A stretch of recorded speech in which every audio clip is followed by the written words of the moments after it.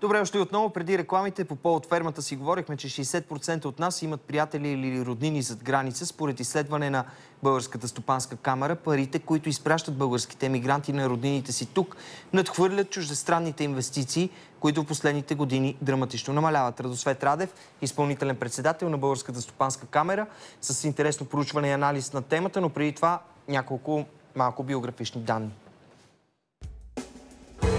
Радосвет Радев е журналист и председател на Българската стопанска камера. Заема поста от юни тази година, но е в управителния съвет на организацията от 27 години.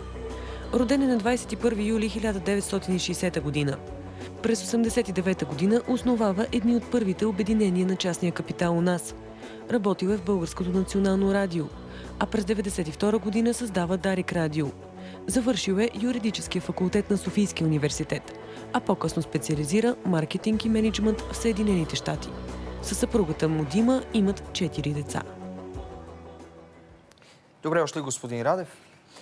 Да започнем от там, откъдето спряхме с Иван и Андрея. От кога българите в чужбина са най-големият инвеститор в економиката ни? Не, най-големи инвеститор не са. Най-големи инвеститор в Сравнено с чуждестранните инвестиции. Спрямо чуждестранните инвестиции е така, да. Е, в момент, мисля, че последните 3-4 години преводите на българските гастарбайтери в България превишават преките чужестранни инвестиции. Иначе най-големи инвеститор в българската економика е българския предприемач. Българския предприемач колко пари изпращат нашите сънародници от чужбина? Около 2 милиарда лева. Около 2 милиарда. Колко са чужестранните инвестиции? 1,7 милиарда. Това сравнено с инвестициите преди 10 години е значително по-малко. Как си го обяснявате? Тогава виждаха в България нов пазар, не беше избухнала кризата. Всичките тези причини са, таки, са верни. А, коректно е да се отбележи, че тогава пък националният капитал, българският предприемач, инвестира доста по-малко. Той тогава на практика е достатъчно неликвиден. А, ценното е, че относително постоянна е сумата на инвестициите, някъде около 18 милиарда лева годишно. Аз четох доста интерпретации и коментари на тази новина. С някои от тях съм наистина и съгласен, защото не е задължително да са лоши условията, за да, си, за да не влиза капитал. Може да има конкурентни, конкурентна среда, кон, кон, кон, конкурентни дестинации, каквито в момента за България се оказват съседите ни Румъния, Сърбия, до неодавна и Турция. А ръста на преводите от българи в чужбина се обяснява с това, че първо физически те нараснаха количествено и а, респективно повече хора изпращат повече пари. Защо най-често чуждестранните инвеститори търсят изхода от България или пък въобще не искат ти да чуе за входа?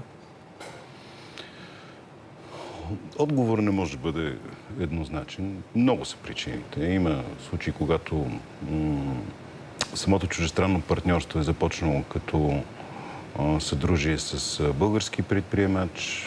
Поначало тези по-сложни договори предвиждат рано или късно единия от партньорите да остане единствен собственик, за да управлява до края инвестицията. Такъв случай е, или български партньор изкупува чужестранни, или обратно пък чужестранни изкупува българския. Истината е, че е, като че ли ние в момента не можем да се окажем онази изключително привлекателна а, дестинация инвестиционна, която да накара чужестранен инвеститор да бъде тук на всяка цена. На всяка цена. А, общо взето има няколко вълни. Първата беше на Real Estate, която общо взето недвижимите имоти, която общо взето е, е област, в която дори неквалифицираният инвеститор смята, че знае как да излезе. По-късно вече се случиха малко по-така софистицираните инвестиционни легени, в които се изливаха чужестранните пари високите технологии, машиностроенето. Между другото, българското машиностроене показва доста завидно и качество и би казал конкурентно. Така че, освен модите, освен вълните, има и обективни, не само субективни, има и обективни предпоставки да намаляват. Например, корупцията, това, че толкова говорим и ние в нашето общество за корупция, а и чужестранните медии от години говорят за корупцията в България. Доколко Категорично един от големите стопове.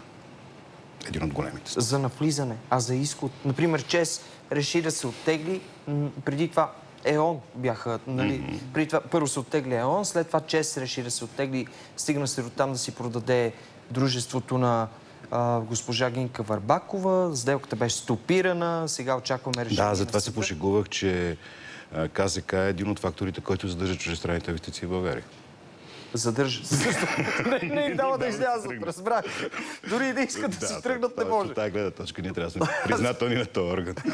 Добре, да, ако си говорим сериозно, посочвайки, например, Сърбия, а, Румъния, те имат ли плосък данък? Да, в Румъния е 16%, в Сърбия мисля, че е 12%. А, Защото плоският данък беше едно от, един от магнитите за То инвестиции. е така, но не трябва да бъде единственото. Защото това, което сега, примерно, се приготви тази принудителна административна мярка, а, бизнеса да плати за незаето работно място от а, човек с увреждания, горе-долу изчислението показва, че при 250 хиляди в трудоспособна възраст хора с увреждания, всеки един от тях бизнеса трябва да плати наказателно, ако не го назначи, 2000 лева годишно. Това са 500 милиона. Това е половин милиард лева, които реално бизнесът трябва да извади. Тоест той трябва да, да се ограничи от инвестиции, да кажем, в рамките на този половин милиард. А този закон... А, Той се движи в момента. то, той се движи в момента, но как го приемате? Като опит за, Ми не го приемаме. като Просто опит за прехвърляне на някаква социална функция към бизнеса от страна на държавата? Да, и там има и допълнително такива м, компликации, които м, създаването на този фонд на практика в него, освен а, чиновници, е предвидено единствено място на работодателските организации в България. Прочетох много внимателно вашия анализ. Говорите за а, липсата на квалифицирана работна ръка, която намалява все повече и повече. Но аз искам да ви попитам нещо в този смисъл. Трагедията е, че липсва и неквалифицирана работна ръка. Един от, един от, една от позициите, която в момента е компания, която е утвърдена по внос на чуждестранен пролетариат, е осигуряване на говедари и биволари. Това се- биволарите? Това се търси в България, да. И откъде ще ги внесе? Киргистан. Киргистан. Киргизия, да. Това е много интересно. Тоест не най-високо образованите са дефицит. В момента в България е дефицитно всичко. Обаче, господин Радев, а, защо се стигна до там? Например, ако в основата на това са ниските доходи, а, което накара много хора да, да потърсят препитанието си другаде и тук вече няма, нямат компаниите кого да наемат, доходите не трябва ли да станат по-привлекателни, за да задържат и малкото останали? За 10 години ръста на минималната работна заплата в България е скочила 75%, а производителността на труда е скочила 39%.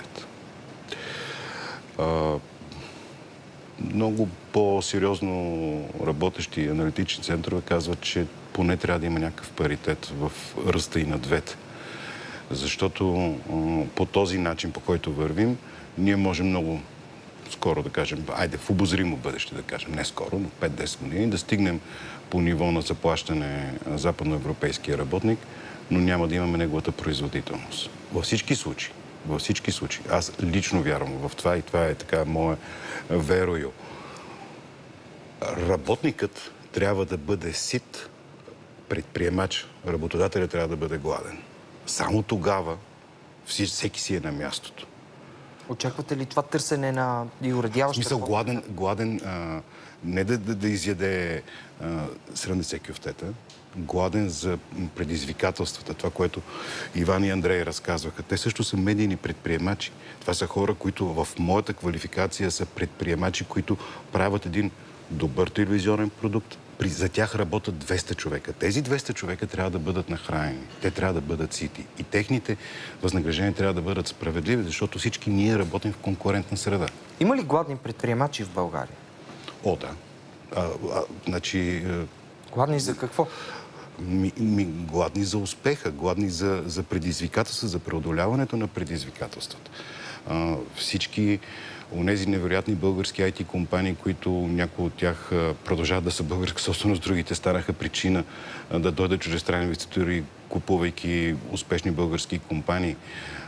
Новата генерация български предприемачи, които в момента не винаги може, могат да бъдат разбрани, защото те наистина в днешния абсолютно отворен свят се опитват да се конкурират не само на българска територия, а и в цял свят.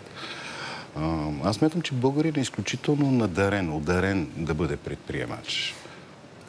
Ето, Подсещаме- примерно този Влад Да. Тенев, който е... Да, ние показахме и господата от Телерик. И- да, те, те гостуваха един- в да. 120 минути. А, да ви попитам накрая, говорите за нова генерация. Генерацията на, на прехода, събития от седмицата, арестите и на а, сина на семейство Арабаджиеви, Миню Стайков, търсят сина му.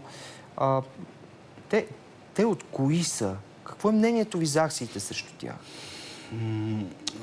Значи, мнението ми не е по-различно от това, което всички хора говорят. Ако те наистина са такива, защо чак сега това е открито? От друга страна, бидейки правова държава България, човек, който няма присъда, не може да бъде наречен престъпник. В България има регистрирани 800 хиляди компании. От тях реална дейност извършват 405 хиляди компании. Смятате ли, че с тези всички 405 405 хиляди компании, всичките до една са най-прилежните и най-белите? Естествено, по, по теория на вероятностите в едно стадо с хиляда овце имаш три черни, две сакати и така нататък.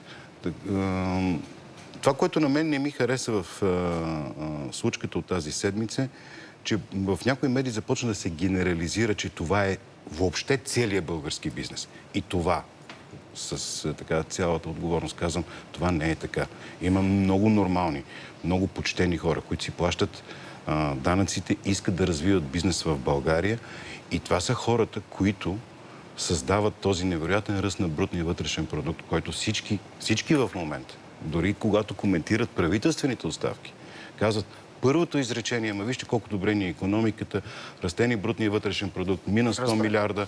Ами Да. нека да стане 100 милиарда евро, а не 100 милиарда лева. Добре, ние ще продължим темата. Благодаря ви много. Ще мен продължим темата след малко с адвоката на Вълчо Арабаджиев Илян Василев. Не влиза от години в телевизионно студио. Ще е изключително интересно. А сега Тотото с Дело и Марина.